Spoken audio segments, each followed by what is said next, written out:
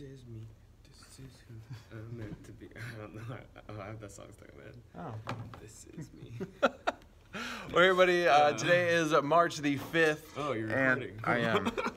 You're on. Yay. Um, and uh, today is National Cheesy Poof Day. Cheesy puffs or pew poofs. Um, and there's a bunch of different brands. There's like the generic ones that come in just the big puffs, uh, the big tubs, clear tubs. Like it.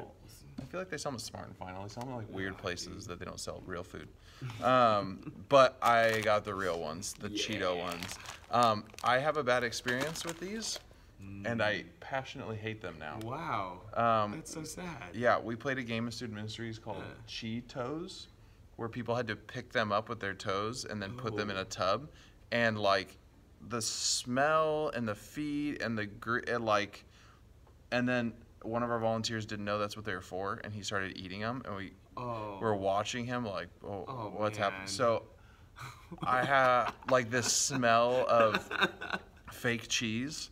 Is, uh, like Oh, it just totally. I sat in the movie theater when we went and saw Black Panther next to somebody that was eating cheese popcorn. Oh, I looked at Dean. I was like, I'm gonna throw up. Like I can't. I, I don't know what. Oh happened. man, that's so sad. Yeah. So Matt Hare, Oh. you broke Cheetos. Not not Cheetos. Actually, Cheetos for some reason. Totally fine.